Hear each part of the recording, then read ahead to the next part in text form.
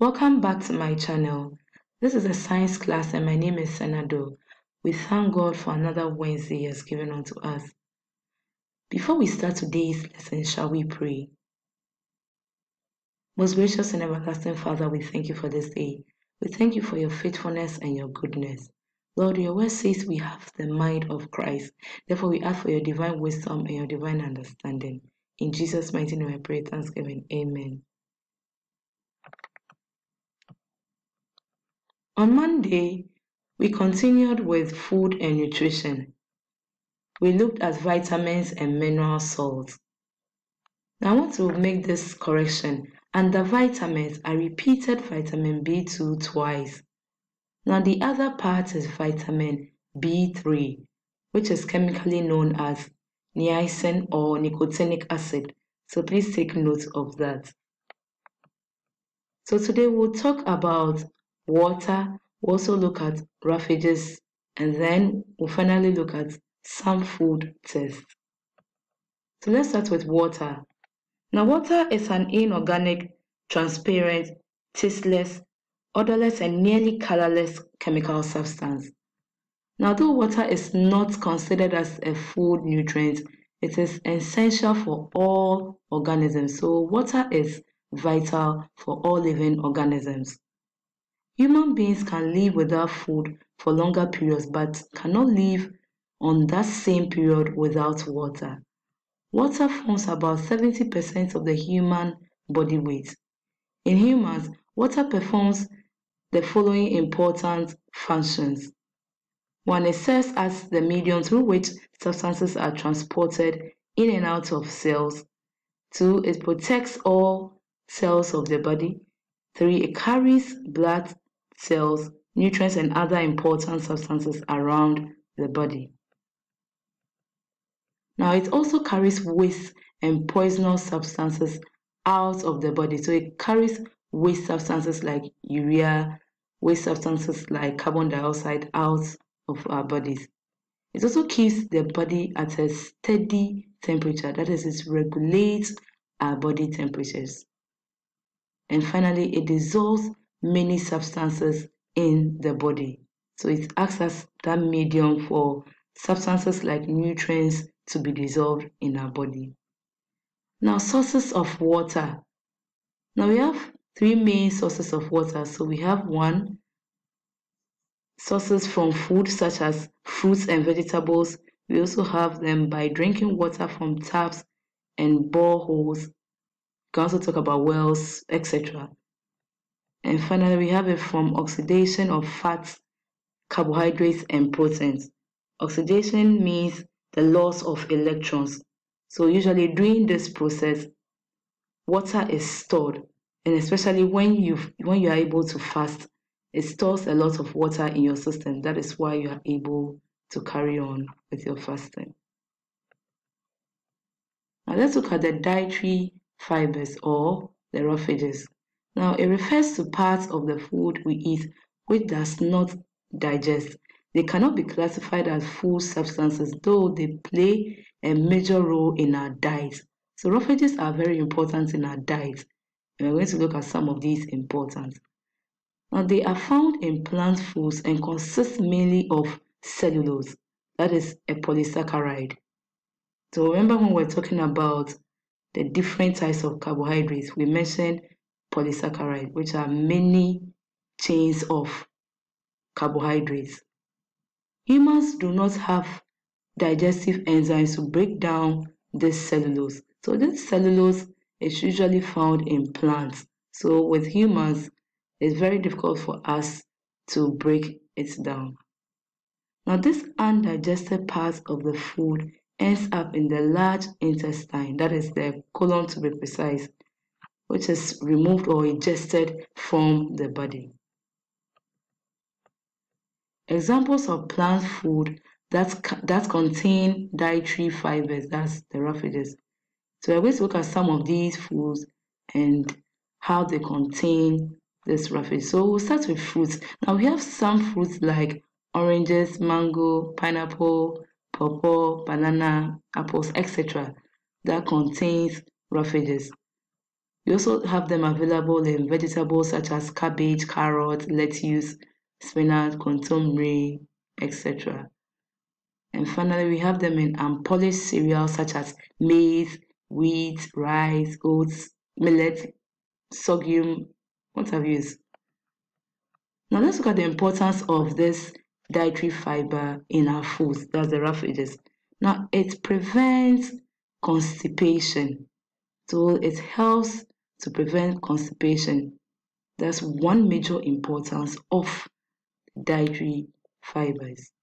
Now it prevents cancer of the colon, that is in the large intestine. So it keeps us away from this disease. It prevents obesity or overweight.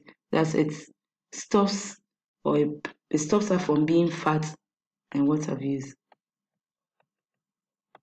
Functions of food substances. So we are going to look at the general functions of the food substances we've mentioned. That is carbohydrates, proteins, fats and oils, vitamins. So we are going to look at them. Now one, food substances help the body to acquire energy. Now this is, for example, in carbohydrates and fats and oils. They produce a lot of energy for our body. So it helps us to carry out our day-to-day -day activities and it helps us to carry out our life processes such as movement, such as reproduction, growth, excretion, you know, the various life processes. Now, too, it's food substances helps the body to grow and develop. Now, it also provides us with the building blocks for our bodies. So it helps our cells to increase in weight and size. So it helps us to grow daily. Food substances also help our body to maintain and repair worn out cells. So, for example, the proteins, we talked about proteins, and proteins mainly help to build our bodies and then repair any worn out cells. So, when you have an injury on your skin or in any part of your body, it helps to prevent all these. Now, food substances help the body to protect itself against diseases. So when all the foods we take in help our bodies to be immune system to be strongly built. Okay, for for example, vitamin K helps the blood to clot during injury. So all these help our bodies to be protected against harmful diseases. Food tests. Now let's look at what food test is all about. Now food substances or nutrients can be tested by adding special chemicals to them. The chemicals produce certain definite colors or effects in the presence of these food nutrients. The use of these special chemicals on food to determine the kind of nutrients present is called the food test. So we take different types of food, and most of these foods are complex in nature, and they all contain specific food nutrients. So food test helps you to know what kind of nutrients are in that particular food you are consuming. So let's look at some of these tests. Now look at the chemical test for simple or reducing sugars, that's glucose, fructose, and galactose. Now, most of these are done in the lab, but what we are going to do is that we'll look at them when school resumes, then we can carry them out practically. Benedict solution or Fehling solution is used to test for simple sugars such as glucose. The color of the solution is blue. So the color of Benedict's solution or Fehling solution is usually blue. In the presence of simple sugars, the blue solution changes color to green, yellow, and brick red or orange or orange depending on the amount of sugar.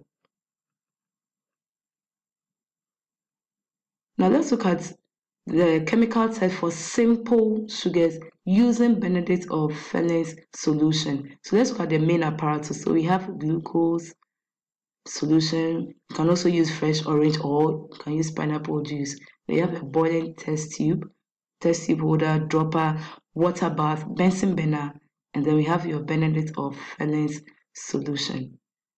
Method About 5 ml of the glucose solution is poured into the boiling water. Then you add 3 drops of Fehling's or Benedict solution to it. The mixture is then heated in a water bath for about 4 minutes. So we have the diagram of this setup. Now it will be observed that the mixture changed from blue to brick red or orange after heating.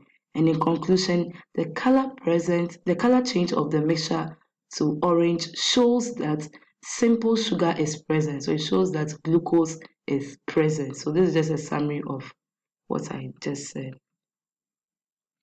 Now, now let's take note of this. This is very important. The original color of Benedict or Fehling solution is blue. But in a control experiment, or when we set up a control experiment using distilled water, instead of using the glucose solution, when Benedict or Fehling solution is added to the distilled water and heated in the water bath, colors of mixtures will remain the same. So the color will still remain blue after you have added your Benedict or Fehling solution. Now the same method is used to test for complex that's reducing sugars such as lactose and maltose with the exception of sucrose. Sucrose is not a reducing sugar. So this is just a summary of this using lactose or you can also use maltose. Now let's look at the chemical test for non-reducing sugar, that is sucrose.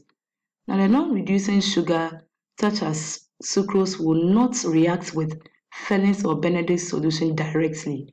Now it will only react with the sugar when it is first boiled with dilute hydrochloric acid and then allowed to cool to be cooled in a beaker of cold water. Now the acid breaks down the complex sugar sucrose into two simple sugars as glucose and fructose as it is shown below here. So we have sucrose plus HCl which is hydrochloric acid in the presence of heat giving you glucose and fructose. Then we add sodium hydrogen carbonate which is also known as bicarbonate of soda or commonly known as baking soda. It is added to the mixture and this is to neutralize the acid so that it does not interfere with the action of Benedict or Fehling solution. The sugars can now be tested using Fehling or Benedict solution. After heating, it will be observed that the color of the mixture will become orange or brick red. So this accounts for the presence of glucose. So that brings us to the end of today's lesson. So this is your assignment, assignment 6. Ensure you submit it on time and you are all doing well so far. Keep it up and make sure you always meet the deadline. Thank you and see you in the next lesson.